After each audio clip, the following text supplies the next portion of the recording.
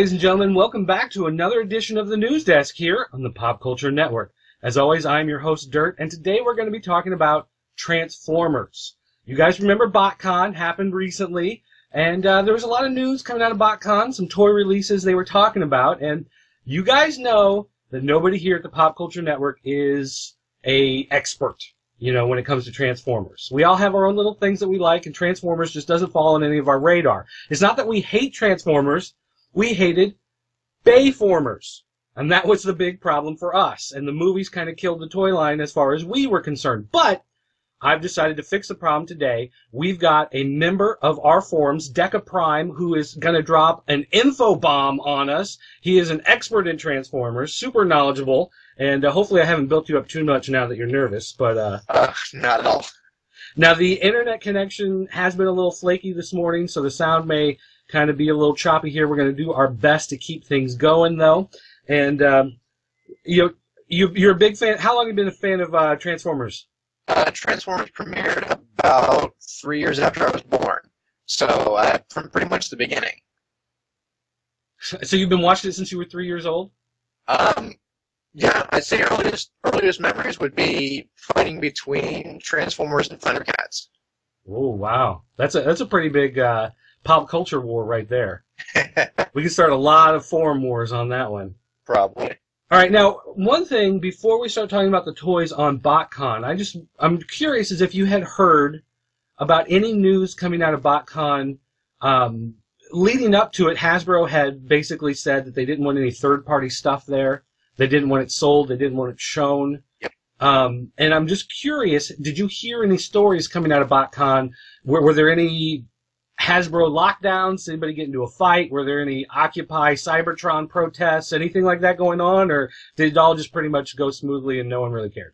Nothing really huge. There were a couple of uh, people that did show up with third-party toys that weren't they were kind of glossed over. Um, there's a company called MakeToys, which is doing their own Devastator, um, slightly smaller than the the Hercules figure that came out recently. Um, and he was seen at a couple of different booths, and there was some third-party add-on stuff that was shown at a couple of different booths. And, and Hasbro didn't seem to enforce it as much as they said they were going to. Um, there are stories, supposedly, of a couple of people being whisked away to uh, hotel rooms to get a hold of some third party, you know, quote unquote illegal stuff that they could then take home to their buddies. But it, it didn't seem to be a real debacle, and it's kind of unusual for Hasbro now to put this huge stamp on third party toys and say you guys can't be there when third party's been such a big part of, of BotCon up to this point. Well, I kind of wondered, uh, as we take a look at some of these releases, I kind of wondered one of the things getting released is this Masterpiece Optimus Prime. Yes. And looking at that Masterpiece Optimus Prime, I'm one of those people that I've been looking at the Dark Side of the Moon stuff. I'm not a big fan of it. Uh, you know, not a big fan of the movie inspired uh, figures. I love the G1 stuff because that's what I grew up on. And when I see that Masterpiece Prime, I, I want that.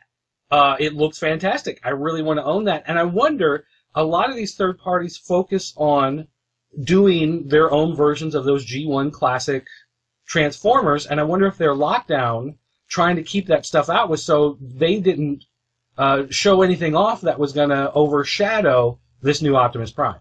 Possibly. Here's the thing: is that the third-party guys are staying away from the really, really big characters, um, except for one third party is apparently putting out um, "quote-unquote" masterpiece Megatron, which we'll see how well that goes over.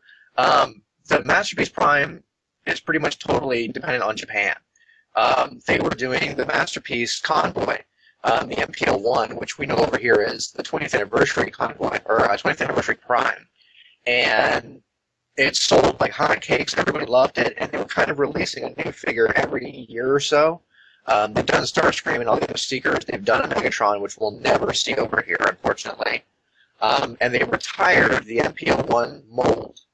And on his packaging and in his, his bio was hints of the next figure, and it was another Optimus Prime.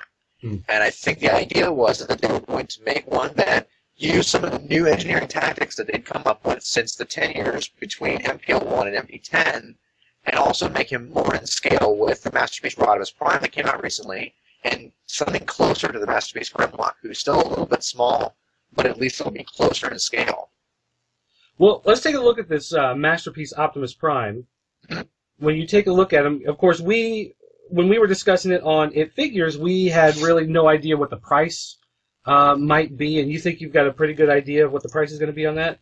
He's going to be a tr- uh, tw- uh, he's going to be a um, TRU exclusive, and the price they were batting around was between 100 and 120 dollars. Now this is really really good considering the price over in Japan is 200 dollars, and that still includes everything that was in the Japanese release, which has never happened before. Um, MPO1 and MP4, both you know Optimus Prime releases, um, we didn't get trailers over here in America. So to get the trailer, Spike, the energy axe, the gun, everything for 120 bones is pretty good. The only problem being is that when they released Grimlock and Rodimus, both hit uh, website first at their price point of about 60 to 70 bucks, and as soon as they sold out, in store they ratcheted the price up really, really fast. Yeah. Um, so, although I think he'll hit stores initially at 120, whether he'll stay that price, um, I have no idea. Whether I will ever see one here in Florida is totally up in the air. No, when they roll those out to, uh, excuse me, to Toys R Us, excuse me, they usually have those stocked pretty well, don't they? When they have the, the initial push, at least, you can walk in during that initial launch period and find one pretty easily, or is it one of those things where everybody's getting there as soon as the store opens, dumping them all in their cart and running out the door? Yeah, no, I only saw one Masterpiece Grimlock ever at my Toys R Us, and it was on Black Friday the year that it came out, and I literally had to climb over a pile of moms to get to this thing. Um, and I never ever saw one ever again. Hmm. Now, this wasn't necessarily the case with Rodimus. I walked in and they had two of them, and I picked one up, and the next week they were full. Um, but once that stock was gone, again, never saw it. Um, unfortunately, I, I live in a in the back hole of the universe, so getting new toys is not not fun. Um, when you look at like this Optimus Prime, you said it's unusual that we get all the accessories. They tend to uh, leave out a bunch of stuff from the Japanese release. Why is that? Honestly, it, it cuts down the plastic and it cuts down the price. Um, Rodimus in Japan came with this trailer, so you could actually make Hot Rod, Rodimus Prime. You could also do the car modes and the Space Winnebago mode for Rodimus and uh, and Hot Rod. And that thing is essentially a giant piece of plastic, and it, it serves little purpose aside from making the Space Winnebago and the giant battle station. And a lot of folks that bought it, it's in their closet, and it pushed the price way up over two hundred dollars. So Hasbro will tend to either cut back on accessories or try to change something to cut the price down for American collectors because, you know, we're cheap and we don't buy stuff at, at Japanese prices unless we love Super Sentai and then we buy everything at high prices. Well, because we think of Transformers, we think of Optimus Prime as something we paid twenty bucks for in 1983. We think it should still be twenty bucks. yeah, well, we, some of us think of it as 20 bucks our moms paid for in 1983 and Well. they should pay $100 now to buy the new one. Fair enough. Come on. All right. Uh, next up here, let's take a look at the uh, San Diego Comic Con Bruticus gift set. Mhm. Now, Bruticus is a combiner.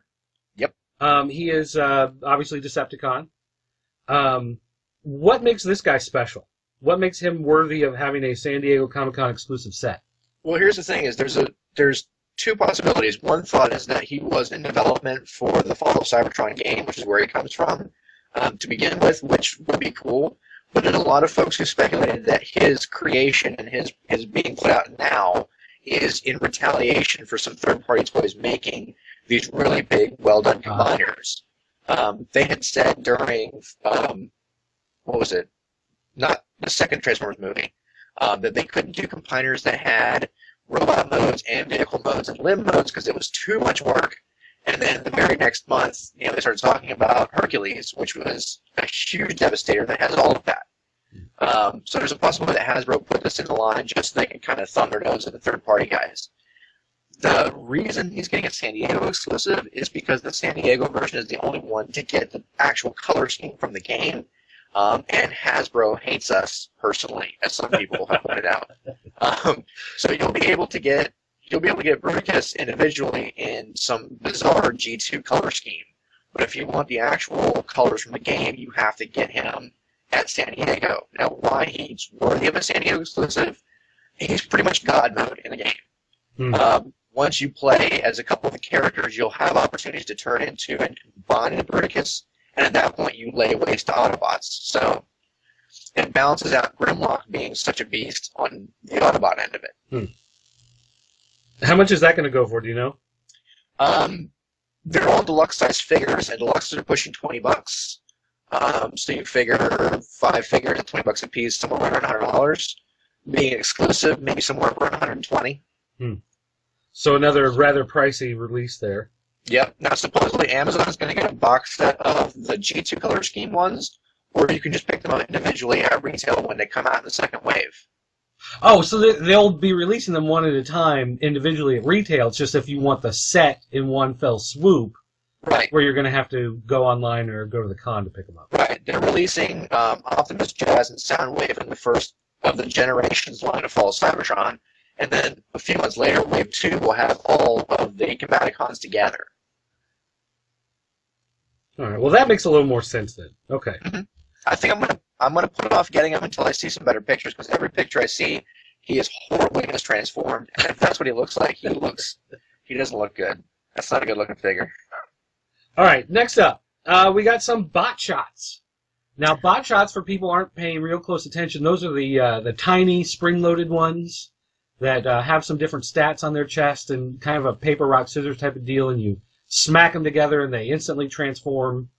Um, they are fun little guys and they're relatively cheap. You know, you can pick up a couple of them for it's under ten bucks, I think, to get one of the uh, two or three packs uh, that they have of them. But I mean, their transformation is uh, pretty basic.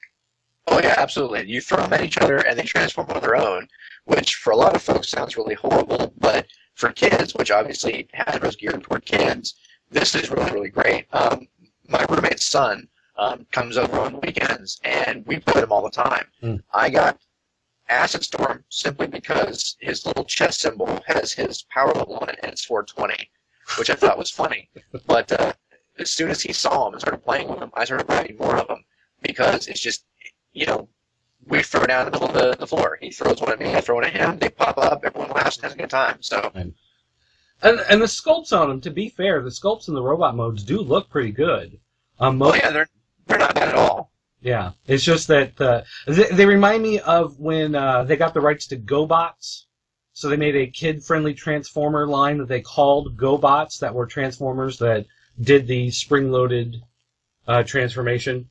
Now they Yeah, made it into a game. I don't know if because they heard about Battle Beasts and just decided to uh, make a game or what the deal is there. possible. All right, next Um, up. Oh, you get something else? I'm just saying that you were talking about the molds. The great thing is that they're the way they're done. It leads to a lot of repaints. Yeah. Um, you've obviously got all the Seekers coming out, but you've got stuff like uh, Jetfire um, and Powerglide are all very easy repaints or very small basic remolds of the, the Seekers. Right. So I mean, it looks like the sky's the limit for characters they'll put out. Yeah, and it's because of their uh, shape. It's pretty easy for them to pop off certain parts and pop on other parts, and kind of reuse and mix and match them that way, and try to come up with some new characters. Mhm, Good idea, Hasbro. Yeah. All right. Uh, now we're going to move on to the San Diego Comic Con Rust in Peace Cliffjumper.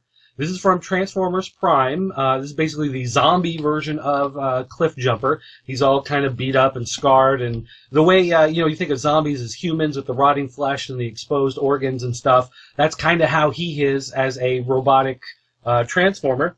Uh, cool thing about him, not only the fact that he's basically a transformer zombie, is the fact that he comes in a package uh, that looks like his head in this Well- kind of molded uh, plastic form. So not only uh, do you have this awesome figure, but then you can pop them out and put the packaging up on your shelf and have this giant zombie robot head sitting on your shelf. The zombie robot head is actually one of two packaging designs that they're thinking about doing. Um, that's better not. do it. Sorry, say again. I was gonna say they better do it because if this doesn't come out at retail, someone's gonna get set on fire. I, I think honestly at this point they may have decided on the on the zombie head because everyone loved it so much. But there's a second package that looks like a CR chamber, one of the the health regeneration chambers from Transformers Prime, um, and that was one of their ideas. They put out the head basically and were saying, hey, here's the figure, and we've got a couple of ideas for what we want to package it, and that head went over. You know, everyone was really happy about that, so I think we'll stick with it. Um, but the head's not a guarantee. Well, they better, they better do it as far as I'm concerned because that's kind of Alright. fun. It reminds me of um, last year Mattel had the Swamp Thing uh, figure at San Diego Comic Con that came in a giant Swamp Thing head. Yep. This reminded me of doing the same type of thing. Do we have any idea on price on this though? Uh, that I didn't catch. Okay. It's a it's a first edition release, which the first edition Prime figures were better articulated, had better transformations, were bigger figures, and they retail for about twenty bucks. So again, you figure San Diego's now another five or six bucks on that, so probably in around twenty dollar price point. Uh, they might just make it thirty. You know, make it even. It's an exclusive, whatever. But still, even at thirty, that's a great price for Yep. for something like this. All right. Anything else from uh, BotCon that you think we need to cover here? Um, they showed off a couple more figures in the Generations wave. They're going to do Voyager size figures, which are the bigger figures. And the first one of that is Soundwave. Um, he's basically just a size up version of the previous release of Soundwave from War for Cybertron. But the cool thing is that he does have the ability to contain um, quote unquote cassettes in his chest.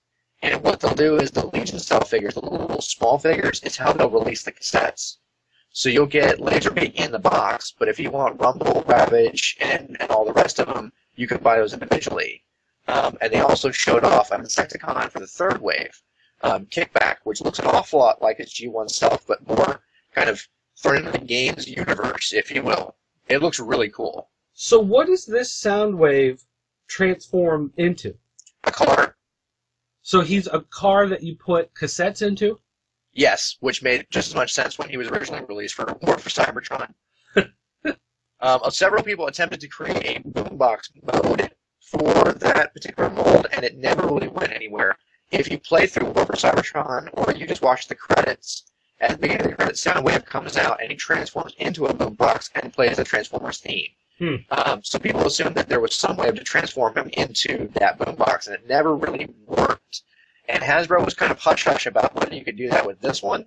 Uh, but the fans are crazy. If there's any way to contort this thing into a boombox, we'll do it.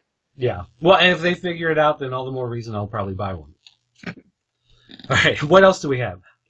Um, Transformers Prime has a couple figures that are coming out later on the year. Now, unfortunately, like I said, I'm not a real big fan of Prime. It's not a bad show, just not really my thing. But it is moving away from Bayformers. So why do you hate Transformers? Say again? Why do you hate Transformers? Uh, because they killed my mom. Fair enough. uh, she bought too many toys. Um, Dead End is coming out later on in the year, and he's a remold, uh, repaint of Wheeljack, who actually is a pretty cool character and one of my favorite all-time characters. So I may have to get the Prime Wheeljack just to keep my my Jack space going um, with the number of Wheeljacks that I have. Um, Airachnid's coming out, and she's a brand new mold, and the one that, oddly enough, everyone seemed to go crazy over is this kind of special ops Bumblebee, which is simply a black and yellow repaint of Bumblebee, but drove everyone crazy because he's got black on his chin, so they're calling they're calling him Beard Bee or something like that. Um, we're really weird fans. We'll find the dumbest stuff to get interested in. Uh, but that's really the, the biggest stuff from Prime is that they're just continuing to make toys for it. Yeah. Well, and the series has gone over really well. I know that it's gotten a lot of fans. Yeah, I watch it. Uh, I know Pixel Dan watches it. Scotty Cash watches it. So people who have been accused of being non-Transformers fans are watching this Transformers show. So I think that says that it's doing all right, uh, getting out there in front of other people. I'll admit it's not a bad show, and every once in a while I get interested in it. But I, I think what kind of killed it was I, I was told about the, the season one ending, um, and thought it was a really cool idea. Unicron, holy crap, I'm going to watch this. Episode one, the, the ending had me pulled in. Episode two had me on the edge of my seat. And then to see Unicron look kind of like the poop monster from um, uh, Dogma kind of killed it. and I, I had to put my computer away and, and walk off from it. Um, like I said, it's not a bad show, and it has brought a lot of new fans in, and fans who were kind of alienated by those movies that shall not be named. um, but it's it's just unfortunately it's just not for me. I'll wait for the next version. I really am. I really was a huge fan of animated. That was my favorite um, show so far. All right. What else do we have coming out of BotCon? Anything else? Um, nothing really huge. Um, like I said, a couple of third-party guys showed off some of their stuff. MakeToys had their Giant Tear, which was a smaller version of, of Devastator. Um, and that, that really was kind of like the round out. Okay.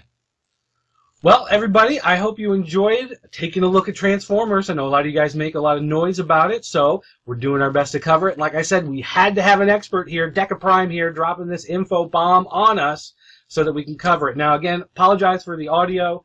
Uh, it did get a little scratchy and a little choppy there, but we're going to do our best to uh, you know, clean that up as well as we can. And, uh, you know, hey, we're, we're trying. We're reaching out for you guys. You guys said you wanted more Transformers, so here we got more Transformers. Don't forget, you want to leave us a voicemail message, you can call our 24-hour voicemail line. It's area code 217-953-4025. You can shoot me an email, dirt at popculturenetwork.com. And as always, come by the website, join the forums. You can talk to great people like DekaPrime here, discuss things like Transformers, Thundercats, He-Man, comic books, video games, TV shows, all kinds of great geeky stuff. So again, thanks for watching, guys, and I'll see you next time.